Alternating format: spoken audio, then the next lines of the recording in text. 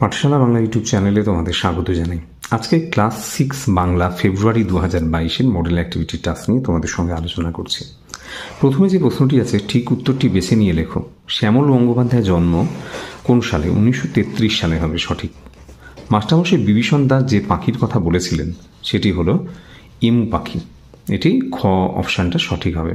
শঙ্করের স্বপ্নে দেখা ইমু পাখি যে গাছের ডালে এসে বসেছিল, সেটি কি গাছ? সেটি হলো সবেদা গাছ।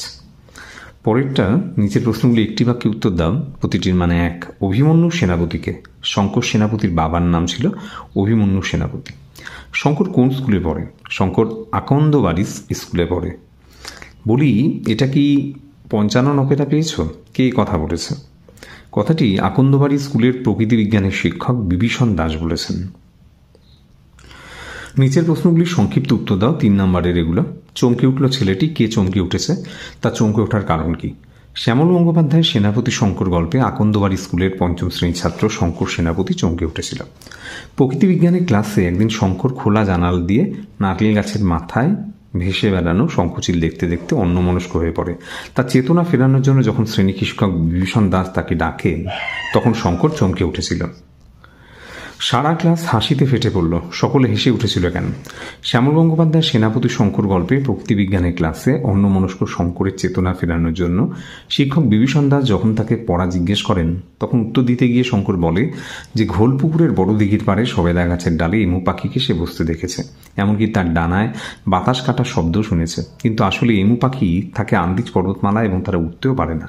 তাই শঙ্করের এই কথায় মাস্টারমশাই খুব রেগে গিয়ে তাকে পঞ্চান্ন অপেরার সঙ্গে তুলনা করেন এবং তাতেই সারা ক্লাস হাসিতে ফেটে পড়ে। পরে প্রথমে বিভীষণ মাস্টারমশাই পাখি দেখার জন্য কোন কোন সাবধানতা অবলম্বন করার কথা বলেছেন। বিভীষণ মাস্টারমশাই বলেছিলেন, পাখি দেখার জন্য যখন মাঠে বা বাগানে ঘুরতে হবে, তখন খুব সাবধানে পা টিপে টিপে চলা উচিত।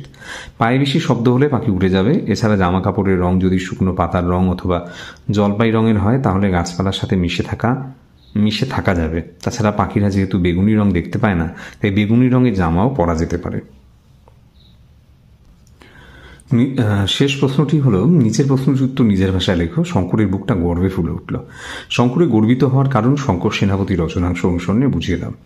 লেখক শ্যামল গঙ্গোপাধ্যায় শঙ্কর সেনাপতি গল্পে পঞ্চম শ্রেণির ছাত্র শঙ্কর প্রকৃতি বিজ্ঞানের ক্লাসে অন্যমনস্ক হয়ে পড়ে স্বপ্ন আর বাস্তব গুলিয়ে ফেলেছিল। স্বপ্নে দেখা ইমু পাখিকে সত্যি ভেবে শিক্ষকের কাছে ক্লাসে সে পাখির বর্ণনা দিয়ে সে বকুনি খায়। এমনকি তার উপর রেগে গিয়ে প্রকৃতি বিজ্ঞানের শিক্ষক বিভীষণ দাস তার বাবার কাছে নালিশও করতে চান। তাই শঙ্করের মনটা প্রথমে একটু খারাপ হয়ে গিয়েছিল, কিন্তু সে বিভীষণ মাস্টারমশাই যখন তাকে পাখিদের সম্পর্কে জিজ্ঞাসা করেন, তখন সে অনেকগুলি পাখির নাম বলতে পারে। তখন মাস্টারমশাই তাকে উৎসাহ দেন এবং তার প্রশংসা করেন। এই কারণে শঙ্করের বুক গর্বে ফুলে ওঠে। শেষ পর্যন্ত ভিডিওটা দেখার জন্য অসংখ্য ধন্যবাদ। ভালো লাগলে ভিডিওটিতে অবশ্যই একটি লাইক দিও, বন্ধুদের মধ্যে শেয়ার করো। অন্যান্য মডেল অ্যাক্টিভিটি টাস্কের জন্য তোমরা class six model activity task প্লেলিস্টের অংশে সমস্ত মডেল অ্যাক্টিভিটি টাস্ক সেখানে পেয়ে যাবে।